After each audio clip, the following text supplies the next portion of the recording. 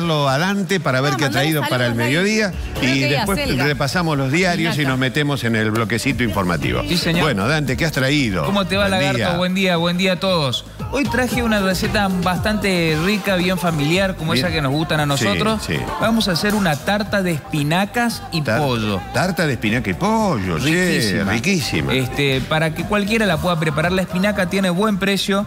El pollo dentro de todo también tiene un precio bastante razonable, así que me parece que es una receta que eh, se puede hacer por, por eh, un precio razonable, Sí, sí, digamos. está bien, está bien. Un precio razonable. La masa la vamos a hacer nosotros para que quede bien, bien deliciosa, pero bueno, ya saben que si no tienen ganas de amasarla, la pueden hacer, eh, la pueden comprar hecha y de esa manera se evitan el trabajo de, de hacer la, la- la masa. ¿no? Muy bien, todo esto lo compraste en el mercadito de Cerro. Claro, exactamente. Ah, Pasé hoy en la mañana por ahí, me recibió Juan con una sonrisa Sí. y me esperaba con un cafecito y Un una factura. Muy bien, Así por que Juan. muchas gracias, Juancito, por, por la medalona. Fantástico. Bueno, lamentablemente esto después se va a hacer más chiquito, Sí. pero va a ser lo suficiente como para hacer A- una hay, receta. Hay dos paquetes. Dos paquetes. Así que va a rendir bastante, lagarto. sí. Queda un pu- la- la- la- de un paquete queda un puñado. Claro. Técnicamente, eh, tal cual, literalmente, no técnicamente. Porque se cocina, después le empezás a sacar el líquido y lo terminás apretujando entre tus dos manos y queda Pero un puñado. Va a ser lo suficiente como para poder comer un- una rica tarta. Por supuesto que va a alcanzar. Por supuesto que Bueno, va a alcanzar. entonces vengo en un ratito, Dante. Bueno, cómo ¿Eh? no, cuando vos quieras te espero por acá. Bueno, bárbaro, fantástico. Hoy tenemos una tartita linda. Qué rico. Ya lo vamos a ir a ver a Dante porque él tiene que empezar. Era tartita, ¿no? De- Una tarta que ya seguramente le ha puesto un poquito de ajo. Sí, Sí, claro, ¿Sabes rico. que hay olor? ¿eh? en el ambiente Seguramente de le ha puesto un Está poquito buenísimo. de ajo a la. A la ¿Cuántas a- ¿Qué era? cabezas hay que ¿Selga o ponerle? espinaca? Dante? Espinaca, Espinaca. lagarto. Espinaca. Eh, le has puesto un poquito de ajo, ¿no? Un poco, están bien con el olfato. Le puse a penita cinco dientes. No, pero le hace cinco dientes. Cinco, nada más, lagarto, un poquito. Es como para perfumar el estudio, Está si no hay olor a limpio. No, acá. cinco dientes. Es un Y poco eso razón que- no hay mosca, y ahí el pollo cortado. bien picadito, ¿ves? El pollo cortado en dados, rehogándose justamente con estos dientecitos de ajo que le hemos agregado. No. Esto como pa- el ajo eh, te da buena salud, Sí. ayuda a bajar la presión, Todo. mata las bacterias malas Mata en el bichos. cuerpo. Hay que comer más ajo, lagarto. Y además también, y además de, de alguna manera eh, este, aleja esta idea de andar besándose todo el tiempo. Exactamente. Eh, eh, digamos, disminuye la promiscuidad. Exactamente. Es horrible. Sí, Horrible. sí. Y aleja los mosquitos, lagarto. También. Aleja los mosquitos, exactamente. Bueno, mira, tenemos ya acá el pollo que está rehogado. Todavía no le puse nada de sal a la preparación, así que voy a aprovechar este momento. Así el pollo va a tomar, le voy a agregar así porque después tengo que salar las espinacas también y tiene que quedar con algo de sal. Este, agrego de esta manera, ya el pollo va a ir tomando sabor a sal y en este momento le incorporamos ya las espinacas previamente cocinadas, lagarto. ¿Por qué se las pongo previamente cocinadas? Porque si no, el ajo más que nada va a tender a quemarse en el Ah. proceso de cocción de las espinacas.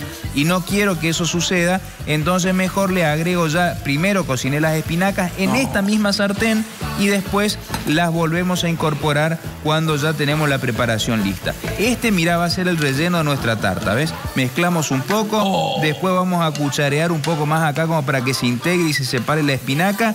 Le vamos a agregar un poco de queso rallado, varios huevos y con eso vamos a rellenar nuestra mega tarta que vamos a hacer. Esta hornalla ya la puedo apagar y dejamos ahí que el relleno siga haciéndose. Por otro lado, tenemos que preparar nuestro, eh, nuestro, nuestra masa. Nuestra más. Exactamente, también vamos a necesitar sal, más o menos una cucharadita.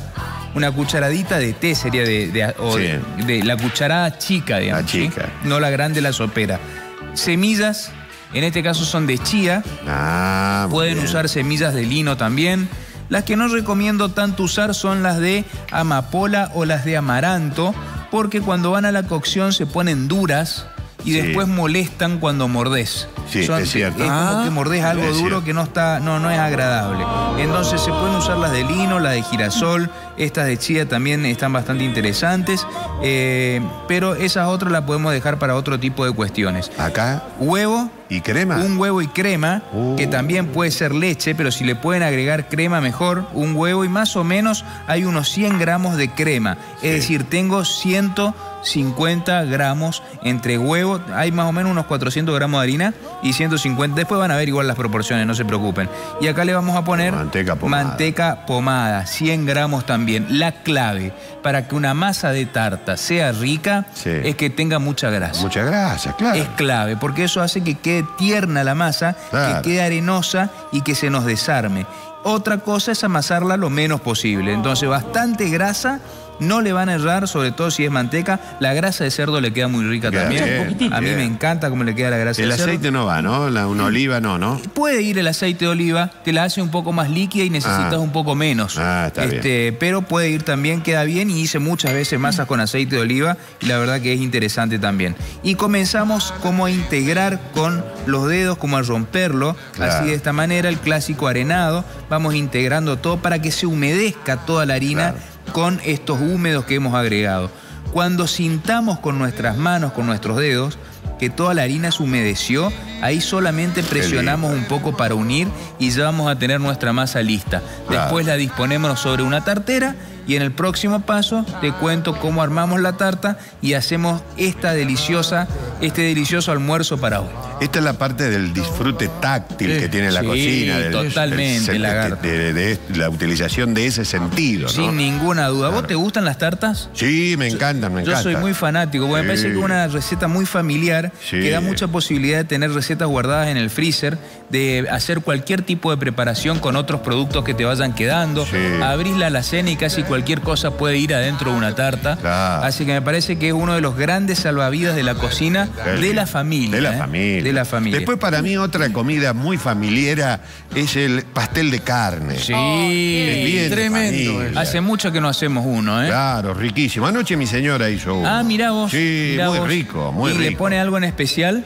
No, yo le pido, yo le pido, a, Sí. a- a pedido mío, le, ponele mucha aceituna. No le pone por las dudas a ella trocitos de ananá, pedacitos No, de no, banana. eh, no, cosas ella sabe, esas. ella sabe que esas cosas Esas no. cosas en casa no. Esas cosas bien. no. Yo tengo una receta Sí. de, esa, de esa comida eh, que es supuestamente la que usaba el general, porque dice que a Perón Ah, le gustaba vos. mucho el Sí. pastel de carne. Ajá. Y tiene una receta que lleva un poquito de uva y mucha aceituna. Ah, mirá Porque vos. le gustaba ese contraste Sí, es que rico, se generaba entre la, la- la uva y la aceituna más la carne y los condimentos. El dulce y el salado y el amargo. Y el amargo. Las aceitunas son amargas Sí, también. hijo, a esa como receta, mira cómo queda así cuando la unimos nada más con las manos. ¿ves? Queda, eso Claro. se llama fresar la masa. Fresarla más. Eso me lo enseñó Osvaldo Gross. Ah, bueno, gran fresador. Exactamente. Gran exactamente. ¿eh? Ha hecho un máster en fresar Sí. la Eh, cuando presionamos así, vamos uniendo, esto es fresar la masa, ¿ves? Y después cuando la ponemos en el molde, en, el, eh, en la tartera, la disponemos a la masa en la tartera, se llama fonsar. Fonsar.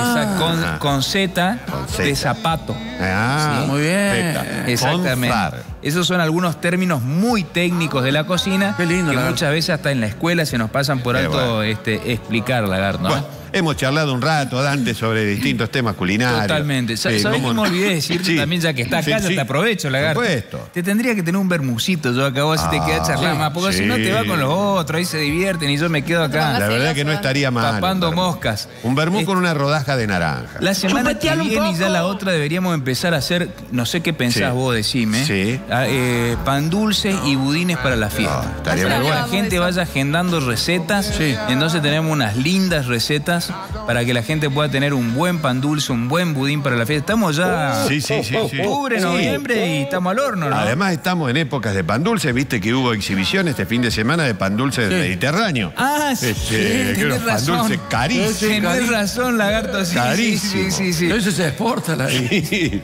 unos pan dulce tremendo. Sí, Pero vamos a hacer el nuestro. pan dulce, eran unos pan dulce grandes. sí. Bueno, ya venimos. Que Dante. no amague tanto y que traiga el vermú. Sí, qué rico, che, por favor. Bueno, Creo Dante. que una cebolla, te No, bueno. por cien, no sé, ni un huevo me parece que te dan Porque es lagarto. uno de los billetes que está en, en- en- en- en funcionamiento, está... En franca extinción. Sí, pero vamos a ver qué se puede comprar. Mirá, tenemos acá entonces la mezcla de eh, el pollo con las espinacas. Le vamos a agregar a esto, lagarto, un poco de queso rallado. Sí. Una puñada interesante. Le pueden poner, si ustedes desean, también, por ejemplo, este, un poco de ricota. Les va a quedar muy, muy bien con ricota. eh. Realmente se lo puedo recomendar también a eso. Y vamos a incorporar esto a nuestra tartera, que ya tiene ahí la masa colocada en su interior o fonzada, como habíamos dicho que se dice cuando este, se agrega una masa de tarta en un molde.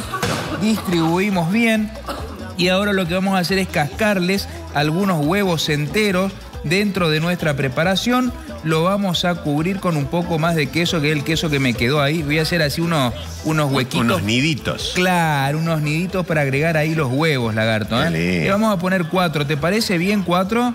Sí, está bien, cuatro. Con cuatro huevos estamos bien, perfecto. bien. Siempre acuérdense de cascar los huevos fuera Claro. de la tarta, porque si a alguno le sale mal y lo agregaron, van a terminar arruinando Y se toda la tarta. la tarta. Así que en este proceso es importantísimo que casquen los huevos fuera de la preparación. ¿eh? Claro. Entonces hago esto, lagarto, los completamos, ya los llevo al horno unos 20 minutos como mucho, porque esto está cocinado, se tienen Claro. que cocinar los huevos y la masa. Y la masa, un Y ratito. después ya tenemos nuestra preparación lista como para poder disfrutar un buen mediodía en familia. Bueno, muy bien. Venimos en un ratito, Dante. no, cuando vos quieras. Bueno, eh, eh, porque Dante ha terminado la receta del día Mirá de la... Tremendo. acá tenemos esta tarta bien rústica, la hice. Mirá con los bordes que quedaron, la dejé así, Claro. orejeando ahí los bordes. Claro, esto es borde, puro Es borde. Puro borde. El que quiere comer unos pedacitos así de borde, ¿Puedo? pero por supuesto. Mira, voy a comer un pedacito de Quedó borde. riquísima, bien crocante.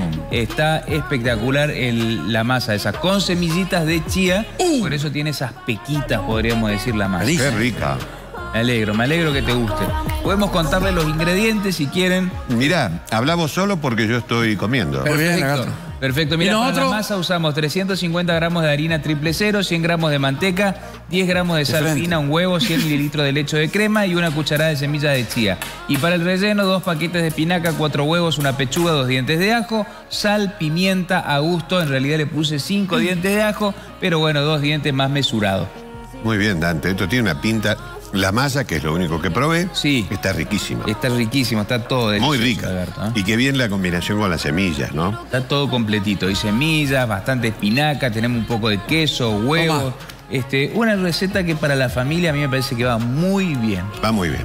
Bueno, gracias, Dante. Un placer acompañarlo. Felicitaciones, ¿eh? Muchas gracias, muchas Felicitaciones. Muy rico le ha salido. Sí. ¿Está bueno la vi? Vi Ah, que le pellizcaste ahí un... Sí, ya vamos a ir a probar. Un, un pedacito, de masa que está sí. muy linda Hay gente que siempre te deja, viste, las puntitas. Sí, sí. De la Exactamente. pizza o de las tartas. Sí. O de, o de las empanadas, viste. Queda también. rico. Es la parte más rica para. A mí me gusta así. Aparte es amasado por Dante. Esto a que mano. tiene ese plus. A mano, a mano. Gente que deje el repulgue. Tienes razón. que